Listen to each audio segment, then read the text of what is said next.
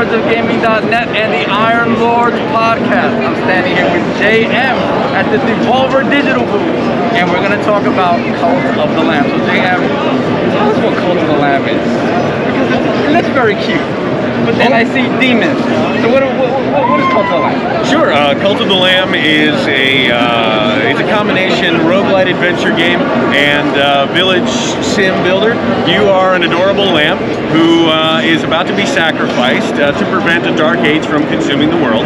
But luckily, just at the moment of your death, the one who waits, your new dark god, resurrects you and brings you back to life, empowers you with the crown of the one who waits, I guess, and uh, gives you the opportunity to build a cult of your own. And that, that's, I mean, that's the gist of the game. You you have a cult, you build homes for them, you build farms for them, you build latrines for them. Can I say shit on this? Sure. Otherwise, they shit everywhere. Otherwise, they shit everywhere.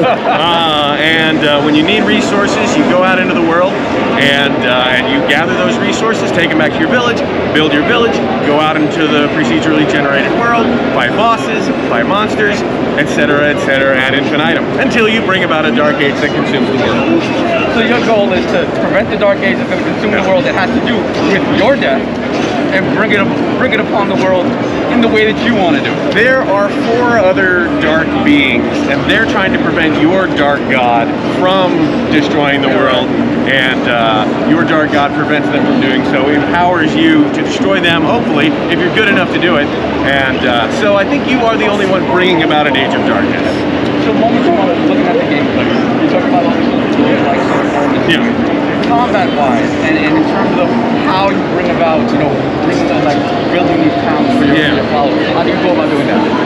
Uh, two totally different questions. Uh, I, I appreciate you asking about both modes of the game at the same time.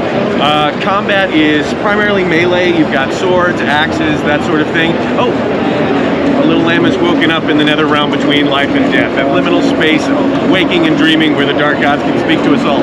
Uh, so you go out into the world, it's largely melee. You do get spells that do different things. You get, of course, like, like any of these games, you get different items that have different effects and create a sort of a different gameplay experience.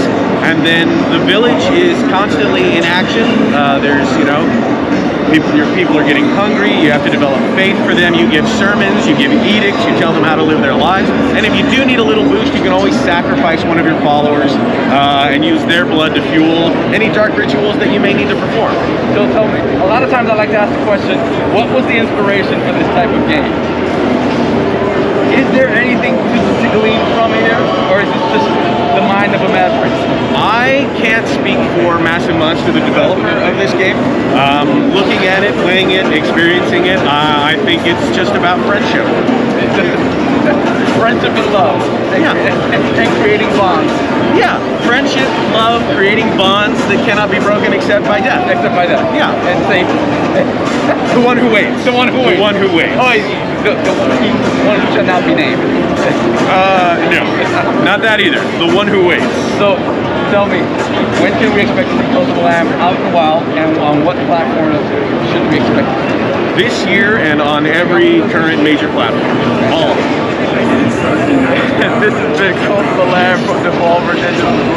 This game looks absolutely bonkers. It's it's what Devolver is known for publishing. It is a fantastic looking game. Look out for it later this year. this has been Lord Sovereign for the Iron Lord podcast at lordsofgaming.net.